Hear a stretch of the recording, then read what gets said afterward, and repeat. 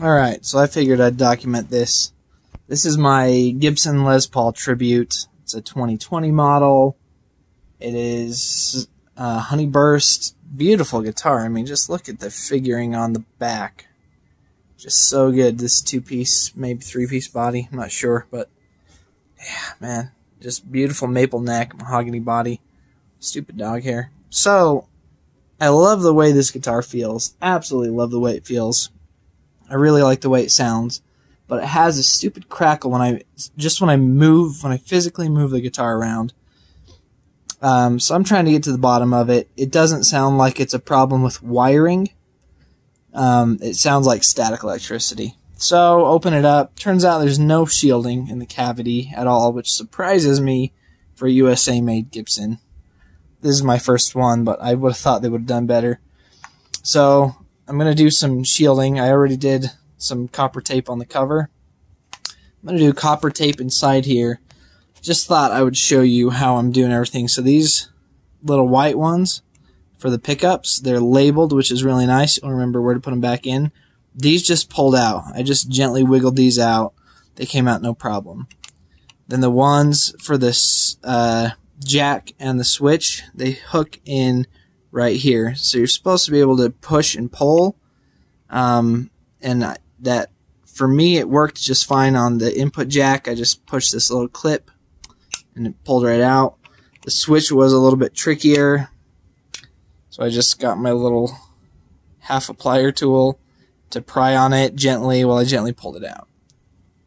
The only one I haven't figured out yet is this ground wire. So that's going down to, I presume, one of the bridge posts. And then the ground is right, it goes in right here somehow. I have not yet figured out how to do this. But once I figure it out,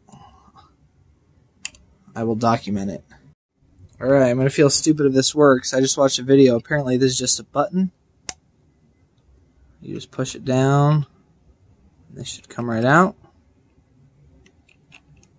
Ah, sure enough. Yep, you just push down on this button while pulling up on this. Comes right out. Um, so I'm going to go ahead and turn it over. Take off my pot knobs. And take off these little bolts. Take out the PCB board so that I can shield the cavity. Easy enough. I just pulled these off with my fingers. Don't use any tools or you'll scratch your guitar. And these are half inch bolts. Easy enough. Just pulls right out. Um, hmm. Just realized, well, no, these nuts, these nuts right here should keep any of these from grounding out. So we should be okay. So I'm going to go ahead and use some copper tape. I'm just going to lay it down really, really flat. It's a bit rough in here, so I might actually sand it down just a, a little bit. But I don't know what any of these markings mean, but there are markings inside. Look at that. Lazy, lazy. Okay, I got this all copper taped. I did the sides and the, the bottom. So that feels like it should do really good to keep out, keep static electricity from getting into this pickup cavity, or at least not as much as it has been. Some people say that it's the nitro still curing because it takes apparently years for the nitro to cure, but this guitar is at least uh, actually, I think it was made in October of 2020, so it's it's almost a year old. In my opinion, it shouldn't still be curing to the point where it is making a static noise when I'm using it. So, a couple of things to keep in mind. I press this down really, really flat right here. Okay, we got this PCB board. You see these little solder points. It's really important that those do not come in contact with the copper wire, or else they will ground out because ground is touching these pots. These pots are grounded. So, bear in mind if you're doing this yourself, make sure that you've got plenty of room between those nuts on the pots and your little solder points. make sure that your tape is really pushed flat up against the guitar and poke the holes in the tape. Don't use the pots to poke the holes. Poke the holes beforehand with a knife or whatever you got, screwdriver, something sharp, just to make sure that as you reinstall the PCB board that the tape doesn't fold up and bubble up and touch those solder points. And I think you should be good. So I'm going to go ahead and put this all back together, put the guitar back together, and see if we solved our problem. Okay, one more thing I'm going to do is do the same thing in this pickup switch cavity as well. So um, I'm going to go ahead and solder a ground from this middle ground right here out to the edge where I'll put some copper tape. I'll shield the inside of the cavity. I'll shield the back of the ca or the cavity cover, all with copper tape. And then along with that one, by the way, I did also connect the ground wire to the edge right here so that this is all grounded. Um, yeah, so I'll just do the same here and fingers crossed. Okay, cool. So I got the cavity taped up nicely. It's pretty nice, clean, solid job. I've got the back or the control cover taped up pretty. It's not the prettiest copper tape job I've ever seen, but it looks like it'll do its job. So what I'm doing now is I'm just taking this little wire.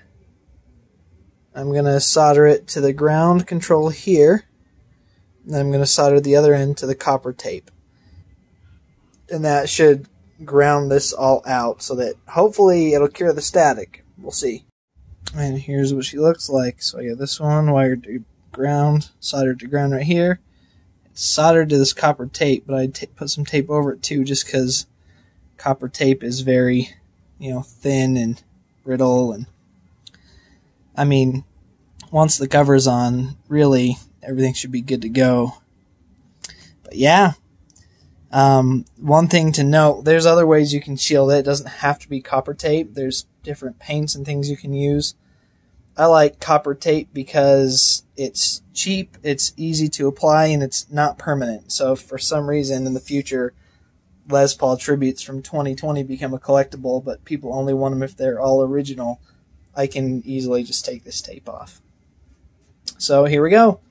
I'll put the cover back on, plug her in, and see what happens. All right, this is the moment of truth. This is the guitar I've been working on. Gibson Les Paul Tribute 2020 model. I just shielded this switch cavity and the control cavity.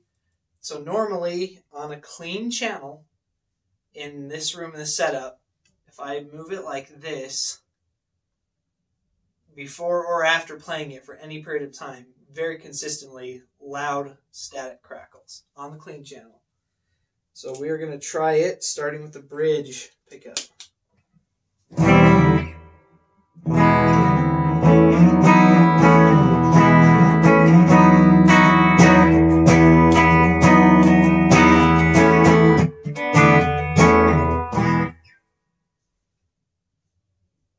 Not a sound, not a single sound. Try on your neck pickup.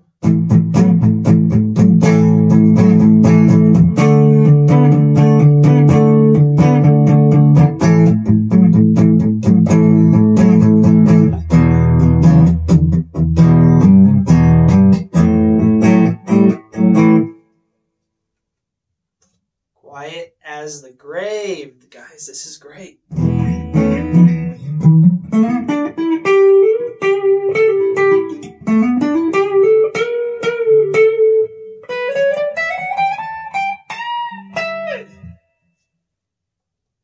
I'm calling that fixed.